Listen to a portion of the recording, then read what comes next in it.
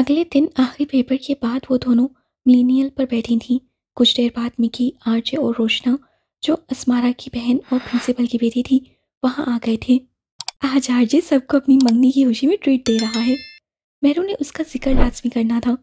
तो हानम का लहजा सख्त था। हमें भी जाना चाहिए। मेरू ने मुस्कुराहट दबाकर कहा था, बाहर में जाए वो और उसकी ट्रीट।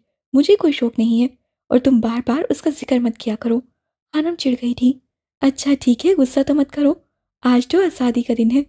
मेरू मुस्कुराई थी। कुछ देर बाद मिलीनियल के सामने गाड़ी रुकी थी और उसमें से एक स्टाइलिश सी लड़की निकली थी।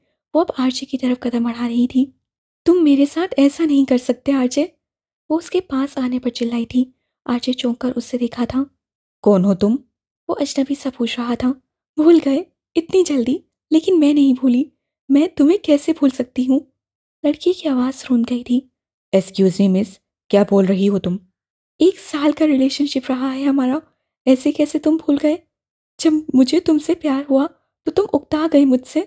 छोड़ दिया मुझे, लेकिन मैं तुम्हें नहीं भूल सकती और ना छोड़ सकती हूँ। वो चिल्ला रही थी। चिल्लाओ मत और मेरा दिमाग खराब मत करो। तुम्हें अब तक कितने लड़कों से प्यार हो चुका है, ये मैं अच्छे से जानता हूँ। अब जाओ यहाँ से तमाशा करने की ज़रूरत नहीं है। आरजी का लहजा पर्व जैसा सर था।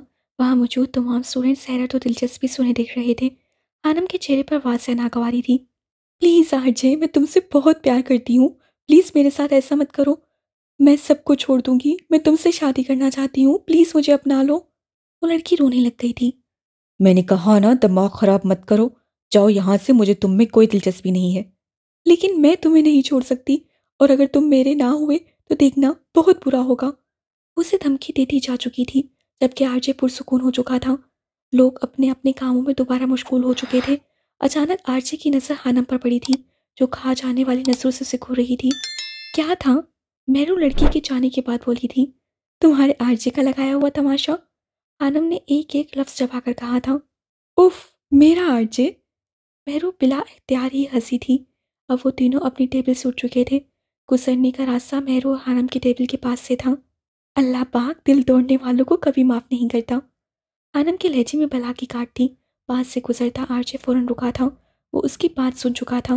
दर हकीकत उसे ही ये बात सुनाई गई थी। कमाल है मिस हानम अल्लाह का इन सबसे क्या ताल्लुक? वो पलट कर अब हानम से पूछ रहा था। हानम एकदम गड़बड़ा गई थी। उसे अंदाज़ा नहीं था, वो यूँ सवाल करेगा। यकीन नहीं होता कि इक्कीसवीं सदी में भी कोई कैसे खुदा पर यकीन कर सकता है।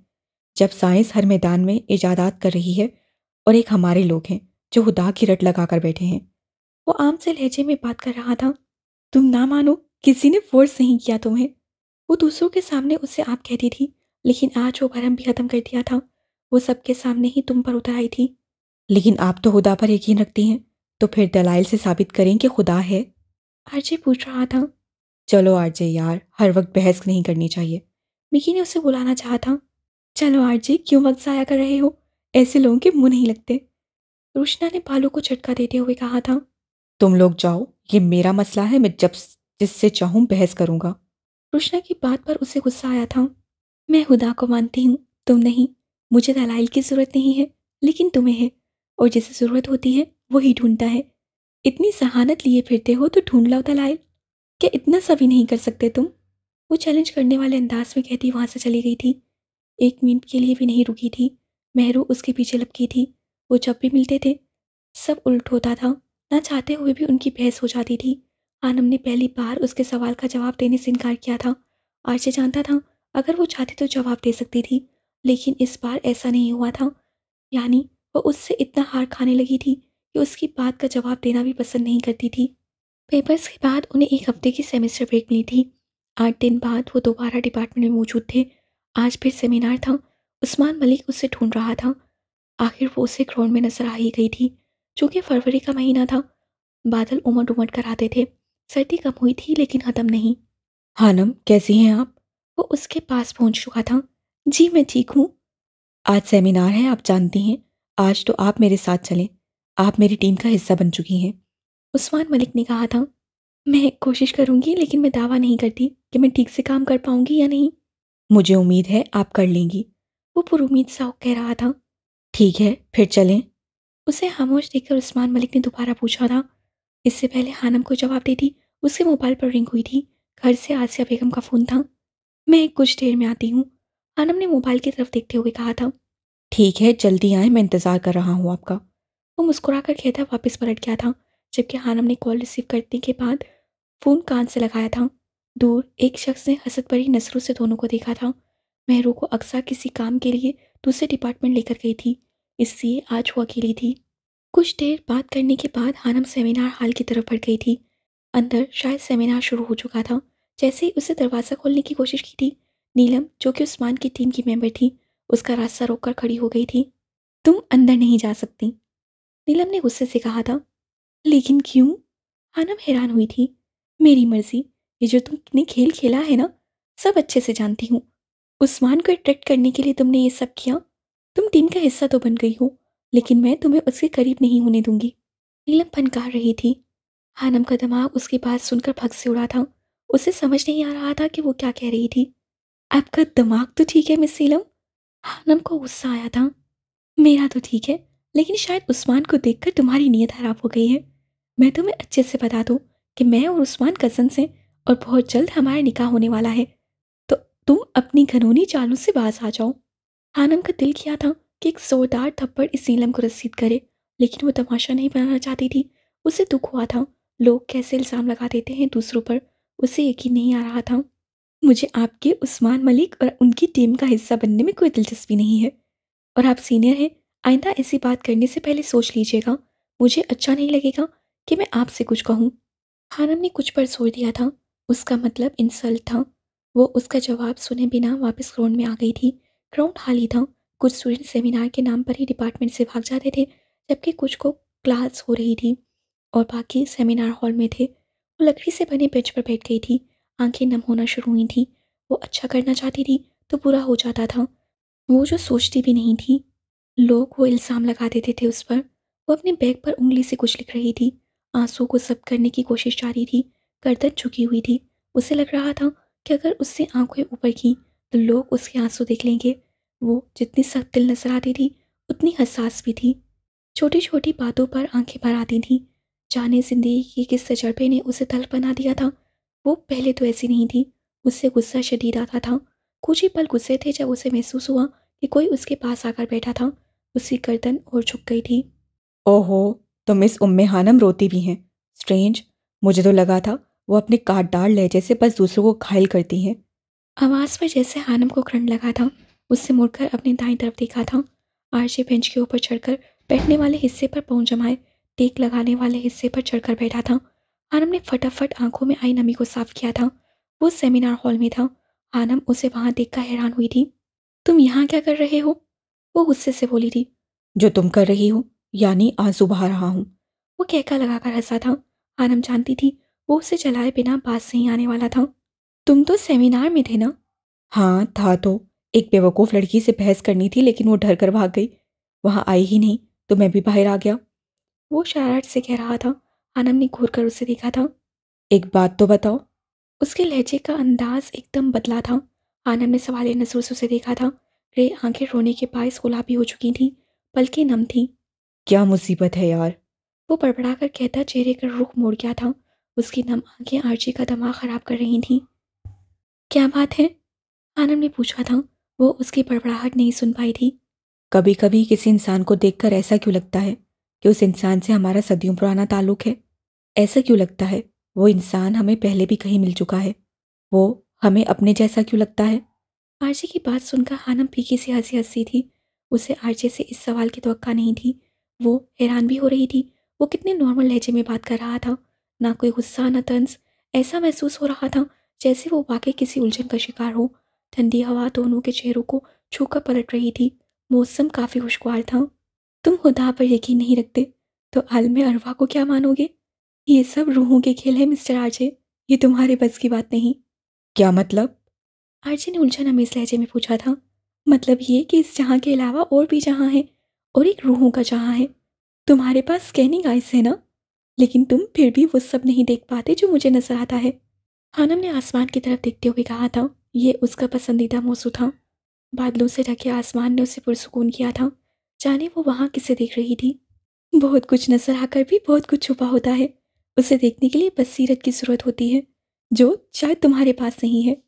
लेकिन मुझे उम्मीद है कि एक वक्त आएगा जब तुम्हें सब नज़र आना शुरू हो जाएगा। एक वक्त आएगा जब तुम किसी चीज़ का इनकार नहीं कर पाओगे। लेकिन ना जाने वो वक्त कब आएगा। ये रूहों का जहाँ कौन सा है? आरजे ने उसकी बात को नज़रअंदाज करते हुए अपना सवाल दोहराया। क्या रूह पर यकीन है तुम्हें? हनम के सवाल पर वो चौंका था। वो वाकई रूह जैसी किसी चीज़ पर भी यकीन नहीं रखता था। जब रूह पर यकीन नहीं तो उसके जहाँ के बारे में जानकर क्या करोगे? वैसे भी वो दूसरा जहाँ है। वो तुम्हारे बस की बात नहीं तुम्हारे बस की बात नहीं। हानम का लहजा जज्बाती हो गया था। उसने एक बार फिर आसमान की तरफ़ देखा था। बारिश की पहली बूंद ने उसके चेहरे को छुआ था। हानम आँखें बंद कर गई थी। बादलों के गरजने की जोरदार आवाज़ के साथ बिजली चमकी थी। बिजली की चमक में उसके चेहरे पर कुछ चमका था। वो एक दिल फरेब मंजर था। आरजे ने खुद को इस वक्त बहुत बेबस महसूस किया था। उसके अल्फाज गुम होने लगे थे। बारिश की बूंदों ने शिद्दत पकड़ ली थी। यखलख्त हर तरफ़ गहरे से बादलों की वजह से अंधेरा सा फैल गया था। हानम अपने बैग को संभालते हुए बेंच से उठी थी और गेट की तरफ़ कदम बढ़ा दिए थे। इससे पहले बारिश तेज होती वो हॉस्टल पहुँचना चाहती थी। आजे की नज़र बेंच पर रखे उसके मोबाइल पर पड़ी थी। उसने बेख्तियार ही हाथ बढ़ाकर हानम का मोबाइल उठाया था। Don't touch my phone you muggles wallpaper पर लिखा था और नीचे एक सांप मुँह खोले दस्ते को तैयार था। आरजे का बेहादसा कहका बुलंद हुआ था। उसने चेहरा उठाकर आसमान की तरफ़ देखा था। उसका चेहरा बारिश से भीग गया था। वो बेतहाशा हंस रहा था। उसे यकीन नहीं आ रहा था कि वाकई वो इस लड़की का मोबाइल था। अपना मोबाइल मुझे गिफ्ट करने का इरादा है क्या, मिस जादूगरनी? वो ऊँची आवाज़ में चिल्लाया था। आनम करंट खाकर पलटी थी, फिर तेज तेज कदमों से उसकी जानी पड़ी थी।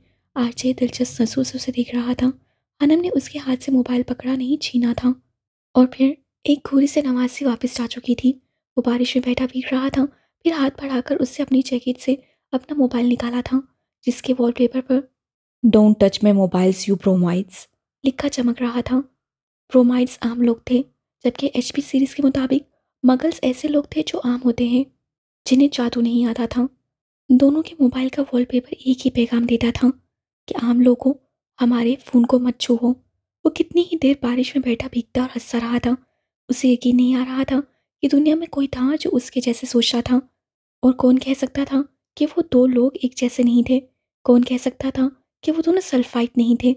और कौन कह सकता था कि वो दोनों जादूगर नहीं थे। कौन कह सकता था? हानम दो दिन डिपार्टमेंट नहीं गई थी। उसे बारिश में भीगने की वजह से ठंड लग गई थी। डिपार्टमेंट में स्पोर्ट्स काला की तैयारियाँ चल रही थी। आज उनके डिपार्टमेंट में मुशायरा था। मशहूर शायरों को दावत दी गई थी। शाम को पाँच बजे वो तैयार होकर डिपार्टमेंट पहुँच गई थी। हर जगह रंग बिखरे पड़े थे। खुशबू में बसी लड़कियाँ देखने के लायक थीं। डिपार्टमेंट के बाहर जन्नत रोड पर रौनक लगी हुई थी। शायरों ने हमें बोर करना है, आरजे। तुम ही कुछ सुना दो। स्टूडेंट्स उसके पीछे लगे हुए थे। उसकी नसें हानम को ढूंढ रही थी। हानम किस तरह की लड़की है? उसे लड़कों में क्या अच्छा लगता है? वो चाहती है कि कोई लड़का बारिश में उसके लिए गुनगुनाए। आरजे कुछ दिन पहले उस्मान मलिक और मेहरू की बातें सुन चुका था। यकीनन, अब वो उसकी ये शाम खराब करने वाला था। अचानक उसकी नज़र कैफ़े के पास रख्तों के पीछे खड़ी हानम पर पड़ी थी। वो हबासत से मुस्कुराया था। गिटार थामने के बाद वो गुनगुनाना शुरू हो गया था। स्टूडेंट खामोश हो चुके थे। मेहरू के साथ बातें करती हानम गिटार की आवाज़ पर जोगी थी। कुर्सियों, दरख्तों और पौधों पर भी रोशनी की सजावट की गई थी। ये पूरा हफ़्ता बारिशों का था और इस वक्त भी ठंडी हवाएँ हड्डियों में घुसी जा रही थीं। हानम ने पलट कर आरजे की तरफ़ देखा था। क्या जाने तू मेरे इरादे, ले जाऊँगा साँसें चुरा के। वो गिटार थामे गुनगुनाता उसी की तरफ़ बढ़ रहा था। आनम हैरत से कुंग मुँह खोले उसे देख रही थी। आरजे की आँखों में अजीब सी अलोही चमक थी। वो चमक आज से पहले किसी ने भी नहीं देखी थी। उसकी आँखें कुछ और ही पैगाम दे रही थी जिसे वहाँ मौजूद कोई शख्स नहीं पढ़ पाया था। दिल कह रहा है गुनागार बन जा। बड़ा चैन है इन गुनाहों से आगे। वो अब उससे गिरद घूम रहा था। मैं गुमशुदा सी रात हूँ। मैं खुशनुमा। सुबह तुम हो। वो अब मुस्कुराता दूसरी लड़कियों की जानी पड़ गया था। मैं जो जी रहा हूँ, वजह तुम हो। वजह तुम हो। और गुनगुनाता अपना काम ख़त्म करके डिपार्टमेंट की तरफ़ बढ़ गया था। स्टूडेंट्स उसके पीछे गए थे। आनम ने घूरकर मेहरू को देखा था। कसम ले लो, मैंने उसे तुम्हारी ख्वाहिश के बारे में नहीं बताया। मेहरू ने सफ़ाई दी थी। आनम का मूड बिगड़ा था। उससे कितने दिल से ख्वाहिश की थी। और वो आरजे पानी फेर गया था उसके अरमानों पर। मैं तुम्हारी दोस्त की लव स्टोरी का हीरो नहीं हूँ, बल्कि विलन हूँ विलन और मुझे विलन बनकर उसकी ज़िंदगी खराब करने का शौक हो रहा है। मेहरू के मोबाइल पर मैसेज आया था। वो कहका लगाकर हंसा था। मैसेज पढ़ने पर हानम का पारा हाई हुआ था। अल्लाह करे उसका गिटार टूट जाए। उसकी उसकी। हानम ने मुँह और मुठियाँ भींच खुद को और बदुआ देने से रोका था। उसकी हालत देखकर मैकू का कहका बुलंद हुआ था। वो कितनी ही देर हँसी रही थी। हानम गुस्से से मुँह फुलाकर वहीं जन्नत रोड पर बैठ गई थी। रोशनियों से जगमग करते जन्नत रोड पर। स्टूडेंट्स ने उसे तैयार श्यार नीचे बैठा देखा तो मज़ाक उड़ाते अंदर चले गए। बस करो हानी, अब चलो ना अंदर। मुशायरा शुरू हो चुका होगा। मेहरू ने हानम से कहा, मुझे हॉस्टल जाना है। वो मनूस आरजे अंदर मौजूद है, उसके होते हुए मैं खुश नहीं रह सकती। हानम ने धाई दी थी। मेहरू ने मुश्किल से अपनी हँसी को सब किया था। वो जा चुका है हानी। मेहरू ने मुस्कुराते हुए बताया था। क्या वाकई? हानम चौंकी। हाँ सच्ची। मेहरू ने उसे यकीन दिलाया था। ओके, फिर चलते हैं। वो छठ से खड़ी हो गई थी। जबकि मेहरू उसके यूँ मूड बदलने पर हैरान रह गई थी। वैसे इतना तो बुरा नहीं है वो, मेहरू ने हफ्की से कहा था? मैंने कब कहा वो बुरा है? बल्कि वो नहायत बुरा है। आनम भी सिद्धि थी। मेहरू अफसोस से सर झटकते डिपार्टमेंट में दाखिल हुई थी। मुल्क के मशहूर शायरों को बुलाया गया था। मुशायरा बहुत अच्छा चल रहा था। आनम के गौर करने पर भी आर्चे उसे कहीं नज़र नहीं आया था। वो वाकई जा चुका था। आनम ने उसकी गैर मौजूदगी पर शुक्र अदा किया था। रात का ना जाने कौन सा भय था, जब अजीब से एहसास के साथ हानम की आँख खुली थी। कोई उस पर झुका उसे उठा रहा था। हानी, उठो, हानी, वो।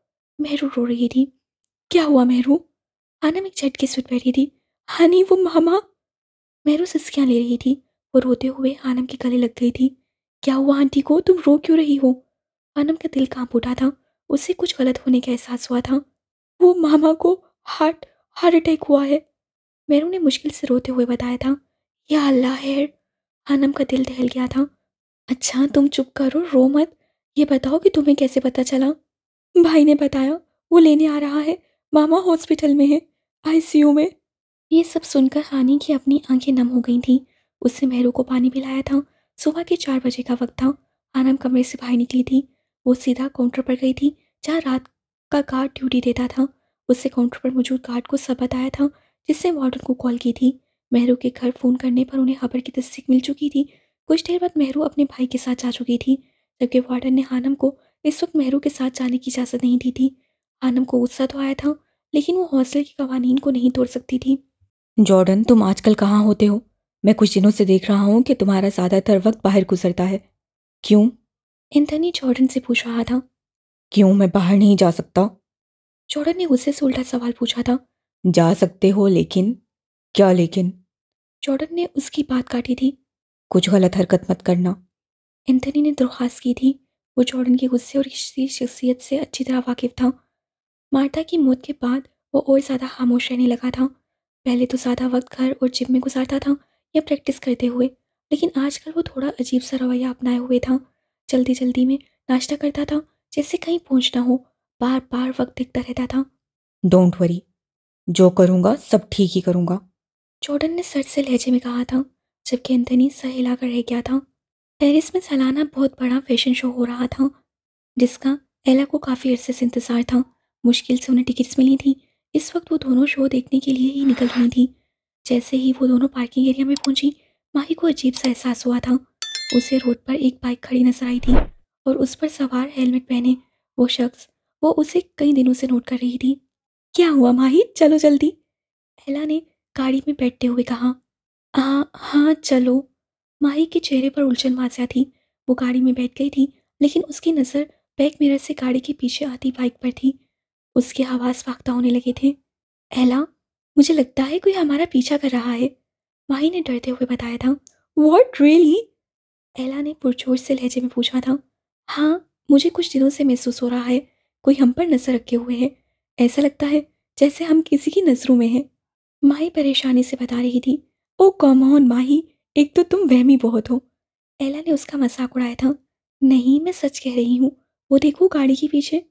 माही ने इशारा करते हुए दोबारा मिरर में देखा था, लेकिन अब वो बाइक गायब थी, उसका दिमाग चकरा गया था। कहाँ? एला ने पूछा था, लेकिन माही के पास कोई जवाब नहीं था। तुम्हें रेस्ट की ज़रूरत है, माही। इस शाम को लेकर तुम जहनी तौर पर डिस्टर्ब हो चुकी हो। एला ने संजीदगी से कहा था, जबकि माही खामोश हो गई थी। वो अब उसे क्या बताती, क्या समझाती? उससे वाकई बहुत दफ़ा उस हेलमेट पहने शख्स को अपने आसपास देखा था, लेकिन वो ये भी जानती थी कि अला कभी उसका यकीन करने वाली नहीं थी, इसलिए उसने बहस करना ज़रूरी नहीं समझा था। दो दिन गुजर गए थे, मेहरू वापस नहीं आई थी। उसकी अम्मी की तबीयत अब कुछ ठीक थी। वीकेंड आ गया था तो हानम भी घर चली गई थी और फिर घर से आसिया बेगम को लेकर वो मेहरू की माँ की हैरियत दरियाफ्त करने गई थी। अच्छा किया, तुम आ गई हो। मेहरू उसे देखकर बहुत खुश हुई थी। अलबत्ता, वो काफ़ी कमज़ोर नज़र आ रही थी। उसकी माँ की तबीयत काफ़ी हद तक संभल गई थी। लेकिन वो अभी भी बीमार थी। काफ़ी देर बैठने के बाद वो अब वापस जाने के लिए तैयार थी। अच्छा सुनो, कल मंडे है, तुम यूनिवर्सिटी जाओगी? मेहरू ने पूछा था। हाँ सुबह हॉस्टल चली जाऊँगी। आनंद ने जवाब दिया था। कल तुम डिपार्टमेंट नहीं जाओगी। शाम चार बजे से पहले तुम नैब ऑफ़िस के पास पहुँचना। हॉस्टल से ऑटो ले लेना या फिर ऊपर करवा लेना, लेकिन किसी को बताना नहीं। मेरू ने राजसारी से कहा था। अनम उसकी बात सुनकर चौंकी थी। क्यों? हैरियत तो है। तुम ऐसे क्यों कह रही हो? बताना क्यों नहीं? आनम को हैरानगी हुई थी। सब मैं तुम्हें बाद में बताऊँगी। अभी बस इतना याद रखो कि चार बजे से पहले नैब ऑफ़िस के सामने मैं वहीं आ जाऊँगी। मेहरू ने चार बजे पर सोच दिया था। ये तुम दोनों सरगोशियों में क्या बातें कर रही हो? थोड़ा ऊँचा बोलो, हमें भी पता चले। मेहरू की भाभी ने शरारतन दोनों को छिड़ा था। नहीं नहीं भाभी, कुछ नहीं, ऐसे ही। मेहरू ने जवाब दिया था। कुछ देर, मस्जिद बैठने के बाद वो वापस अपने घर आ चुकी थी। मेहरू की बातों ने हानम को उलझा दिया था। वजह क्या थी, ये तो मेहरू से मिलकर ही बता सकती थी। हानम मेहरू की बात को लेकर सारी रात सोचती रही थी। उसे समझ नहीं आ रहा था कि मेहरू को नैब ऑफ़िस के पास क्या काम था। उसे मेहरू से पूछने के लिए दो तीन बार उसका नंबर मिलाया था, जो ऑफ़ जा रहा था। क्या मुसीबत है यार। वो झुंझला गई थी। अगले दिन भी वो उसका नंबर मिलाती रही थी। एक तो वो छुट्टियाँ कर रही थी, जो कि गलत था। ऊपर से फ़ोन भी ऑफ़ जा रहा था।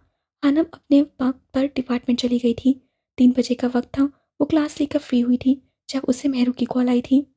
तुम पहुँच रही हो ना नैब ऑफ़िस? मेहरू पूछ रही थी। आनम का उसकी बात सुनकर दिमाग घुमा था। तुम्हारा दिमाग ख़राब हो गया है मेहरू। फ़ोन क्यों बंद था? और तुम्हें इस जगह पर क्या काम है? आनम ने उससे से पूछा था। प्लीज़ जल्दी आओ, मैं उधर ही जा रही हूँ। मेहरू कहकर फ़ोन बंद कर चुकी थी, जबकि हानम सम थाम कर रह गई। उसे समझ नहीं आ रहा था कि वो क्या करे। किसी को भी बिना बताए यूँ क्लास छोड़कर उसकी बताई जगह पर पहुँचना हानम के लिए बहुत अजीब था। कहीं मेहरू किसी मुसीबत में तो नहीं। अचानक उसके जहन में ख्याल आया था और बिलाहिर वो हिम्मत करके यूनिवर्सिटी से बाहर निकल आई थी। तीन बजकर चालीस मिनट पर वो नैब ऑफ़िस के सामने थी। वहाँ आर्मी की कसीर तादाद नज़र आ रही थी। आनम का दिल घबरा रहा था। मेहरू का कहीं नामो निशान नहीं था। पंद्रह मिनट वो रोड पर खड़ी रही थी। लोग उसे अजीबो गरीब नसों से घूर रहे थे। उससे अपनी बड़ी सी चादर को अच्छे से खुद पर लपेट रखा था और आधा मुँह छुपाया हुआ था। आनम ने कांपते हाथों से फ़ोन निकाला था। इससे पहले कि वो मेहरू का नंबर मिला मिलाती मोबाइल उसके हाथ से छूट कर नीचे गिरा था। उसे फटाफट झुककर मोबाइल उठाया था, जो बंद हो चुका था। आनम के अब ओसान होता हुए थे। उसे महसूस हो रहा था कि वो कितनी बड़ी गलती कर चुकी थी। साढ़े चार हो गए थे, लेकिन मैरू कहीं नहीं थी। मौसम अपर आलूद हो रहा था और उसका दिल थक थक कर रहा था। उसे समझ नहीं आ रहा था, वो क्या करे? बार बार कोशिश करने पर भी उसका मोबाइल ऑन नहीं हुआ था।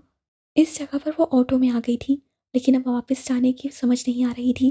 गाड़ियाँ, लोग और हर तरफ़ फैला शोर उसे पागल कर रहा था। वो हमेशा कॉलेज से घर और घर से कॉलेज अकेले गई थी। लाहौर में रहने के बावजूद उससे दूसरों की तरह लाहौर पूरा नहीं देखा था। जैसे ही पाँच बजे थे आनम की आँखें नम होना शुरू हुई थी। अंधेरा फैल चुका था, मेहरू नहीं आई थी, वो उससे कॉल भी नहीं कर सकती थी। इस वक्त सिचुएशन ऐसी थी कि आनम का दिमाग काम नहीं कर रहा था। उससे दिल से दुआ की कि अल्लाह उसकी मदद करे। और फिर कुछ देर बाद एक गाड़ी उसके सामने रुकी थी। तुम यहाँ क्या कर रही हो? आरजे ने गाड़ी का शीशा नीचे करते हुए पूछा था। आनम अपने सामने आरजे को देखकर अजीब सी कैफियत में मुबतला हो गई थी। पहली बार उसे आरजे को देखकर अच्छा लगा था। वो इस वक्त उसके लिए एक मसीहा बनकर आया था। वो वो मैं आनम के अल्फाज साथ नहीं दे रहे थे। गाड़ी में बैठो। उसका अंदाज हाकमिया था। बिना कोई, कुछ सोचे समझे। आनम दूसरी तरफ़ का दरवाज़ा खोलकर गाड़ी में बैठ गई थी। कुछ देर गाड़ी में खामोशी छाई रही थी। आनम की आँखें झलकने को तैयार थी। किसी का इंतज़ार कर रही थी। आरजे ने नॉर्मल से लहजे में पूछा था, मुझे हॉस्टल जाना है। आनम ने खुद पर काबू पाते हुए कहा था। अलबत्ता उसकी आवाज़ सुन गई थी। ओके। आरजे ने गाड़ी का रूफ कैंपस की तरफ़ मोड़ दिया था। तुमने बताया नहीं यहाँ क्या कर रही थी? चंद मिनट की खामोशी के बाद आरजे ने दोबारा पूछा था जबकि हानम अपने आँसू जब्त करने की कोशिश कर रही थी। क्या होता अगर आरजे वहाँ ना आता? ये सोचकर ही उसकी जान हवा होने लगी थी। उसे मेहरू पर इंतहा का गुस्सा आ रहा था और उससे भी ज़्यादा खुद पर जो बेवकूफ़ों की तरह वहाँ चली आई थी। आनम ने आरजे की बात का कोई जवाब नहीं दिया था। आरजे को उसकी खामोशी चिढ़ा रही थी। उससे गाड़ी में म्यूज़िक लगा दिया था। प्लीज़ इसे बंद कर दो। हानम ने आरजे से इल्तजा की थी। उसका सर दर्द से फट रहा था। और गाड़ी तेज़ चलाओ, मुझे जल्दी हॉस्टल पहुँचना है। उसे परेशानी हो रही थी कि अगर वो मुकर्रा वक्त तक हॉस्टल ना पहुँची और लेट हो गई तो वार्डन उसे नहीं बख्शेगी। उसके बाद का आरजे पर उल्टा असर हुआ था। उससे गाड़ी की रफ्तार कम, जबकि म्यूज़िक का वॉल्यूम तेज़ कर दिया था। आनंद ने आँखें मीचकर खुद को कुछ गलत कहने से रोका था। इस वक्त वो उसके रहमो करम पर थी। मुझे यहाँ मेहरू ने बुलाया था। कुछ काम था हमें लेकिन वो लेट हो गई नहीं आ सकी। बिल आखिर उससे बोलना ही पड़ा था। उसकी बात सुनने के लिए आरजे ने म्यूज़िक बंद किया था। ओके। वो बस इतना ही कह पाया था। खामोशी खामोशी एक तवील खामोशी छा गई थी। वैसे हो तुम पाँच फिट चार इंच की लेकिन नखरा क्यों है इतना तुम में? आरजे की बात पर हानम ने हैरत से रुख मोड़कर उसे देखा था। वो अब उससे घूर रही थी। हाँ ना इतनी ही हाइट है तुम्हारी। एक इंच ऊपर नीचे हो सकता है। वो टीटू की तरह हंसा था। वैसे तुम्हारा मेरी गाड़ी में बैठना इस बात की गवाही देता है कि या तो मैं नहायत पाकिरदार लड़का हूँ या फिर तुम भी मेरे ही जैसी हो। वो कहकर लगाकर हंसा था। आनम बस खुद पर सब कर रही थी। वो ऐसा कुछ नहीं बोलना चाहती थी जिससे आरजी को गुस्सा आता और वो उसे छोड़कर चला जाता। मेरी मजबूरी का फ़ायदा उठाने की कोशिश मत करो। आनम का लहजा काटदार था, आरजी का कहका बुलंद हुआ। क्या बात है? वैसे ना मुझे तुम में कोई दिलचस्पी नहीं है। अगर होती भी तो मैं ज़बरदस्ती का कायल नहीं हूँ। और वैसे भी मुझे याद आया, तुम तो मेरी कानूनी बीवी हो। मेरी गाड़ी पर हक रखती हो, इसीलिए मैं तुम पर कोई एहसान नहीं कर रहा। बल्कि तुम अपना हक इस्तेमाल कर रही हो। वो उसे चिढ़ाने में कोई कमी नहीं छोड़ रहा था। तुम्हारा नाम किससे रखा था? अब हानम किसी हद तक नॉर्मल हो चुकी थी। मैंने खुद, वो हंसा था, रोहान की बात कर रही हूँ। वो मॉम ने रखा था। आरजे ने बताया, क्या तुम्हें पता है रूहान का मतलब क्या है? हानम ने पूछा, रूहू जैसा पाक साफ़। आरजे के नाम में गर्दन हिलाने पर हानम ने बताया था, वाओ! ना चाहते हुए भी आरजे मुस्कुरा दिया था, और मुझे दुनिया में तुम्हारी रूह से ज़्यादा गलासत में लिपटी रूह किसी और की नज़र नहीं आई। आरजे के कहकर को ब्रेक लगी थी। अचानक उसके चेहरे पर सख्ती छा गई थी। और मुझे इस चीज़ से कोई फ़र्क नहीं पड़ता कि मैं कैसा हूँ और कैसा नहीं और तुम्हें भी मुझ पर इतनी गहरी नज़र रखने की ज़रूरत नहीं है। वो सख्त से लहजे में बोला था आनम खामोश हो गई थी। कौन सा हॉस्टल है तुम्हारा? वो लोग गेट नंबर चार से हॉस्टल एरिया में दाखिल हो गए थे। पहले बॉयज़ हॉस्टल था हॉस्टल एरिया में रौनक लगी थी। हर तरफ़ लड़के घूमते नज़र आ रहे थे। कुछ आगे आने पर एस वाले रास्ते पर लड़कियों और लड़कों के ग्रुप चहलकदमी कर रहे थे। यहीं उतार दे मैं खुद चली जाऊँगी। आनम ने तमीज़ से कहा था। मैंने पूछा हॉस्टल नंबर बताओ। और बेफिक्र हो तुमसे मिलने हॉस्टल नहीं आने वाला। वो एक एक लफ्ज़ चबा कर बोला था। ग्यारह हानम ने जवाब दिया था। कुछ मिनट बाद वो उसके हॉस्टल के सामने खड़े थे। हानम बिना कुछ कहे गाड़ी से बाहर निकली थी और फटाफट हॉस्टल के गेट की तरफ़ बढ़ गई थी। जैसे ही वो गेट खोलकर अंदर दाखिल हुई थी आरजे ने गहरा सांस लिया था। शाम के सात बज रहे थे। अब वो गाड़ी वापसी के लिए मुड़ चुका था। हानम ने हॉस्टल आने के बाद शुक्राने के नफल अदा किए थे। अल्लाह ने उसकी हिफाजत की थी। उससे मेहरू पर शदीद गुस्सा था और उसी गुस्से की वजह से उसे दोबारा मेहरू को कॉल नहीं की थी। अगले दिन मेहरू हॉस्टल आई थी। उसके सर पर पट्टी बंधी हुई थी। हानम उसे यूँ देखकर हैरान रह गई थी। सॉरी हानम कल जब मैं तुम्हारे पास आ रही थी तो छोटा सा एक्सीडेंट हो गया था। मेहरू ने बताया था। हानम को उस पर जितना भी गुस्सा था, वो उसकी हालत देखकर कम हुआ था। प्लीज़ माफ़ कर दो। मैंने बाद में तुम्हारा नंबर मिलाया था, लेकिन वो बन जा रहा था। आनम के सर तो जामे तासुरात देखकर मेहरू ने सफ़ाई पेश की थी। ठीक है आनम इतनी भी पत्थर दिल नहीं थी। अब वो उससे ड्राइवर के बारे में पूछ रही थी, जिससे ज़्यादा छोट आई थी। वो दोनों डिपार्टमेंट के लॉन में बैठी थी। मेहरू के वालिद का इस्लामाबाद में ट्रांसफ़र हुआ था। वो लोग कुछ दिनों तक वहाँ शिफ्ट होने वाले थे। मेहरू का अभी कंफर्म नहीं था।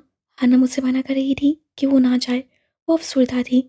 जब मेहरू उसे यकीन नहीं दिला सकी तो उससे मोबाइल निकाल कर यूट्यूब वीडियो देखनी शुरू कर दी थी। जितना वक्त तुम इन वीडियो सीखने में लगाती हो, अगर उतना पढ़ ना तो तुम टॉप कर जाओ। आरजे नहीं। इस बार भी आरजे ने टॉप किया था। तुम भी आरजे जितनी सहीन तो हो ही ना? आरजे सहीन नहीं, चलाक है मेहरू। आनंद ने मोबाइल पर नस्से गाड़े जवाब दिया था। जहीन और चलाक में क्या फ़र्क हुआ भला? मेहरू ने अजनबे से पूछा था। चलाक तो अबलीस भी था मेहरू। अगर वो जहीन होता तो शैतान ना होता। आनंद की बात ने मेहर को गुम कर दिया था। वो बहुत गहरी बात कह गई थी और उनसे कुछ वास्ते पर पीछे खड़े आरजे के कदम जो मेहरू से कुछ पूछने आया था, पत्थर के हुए थे।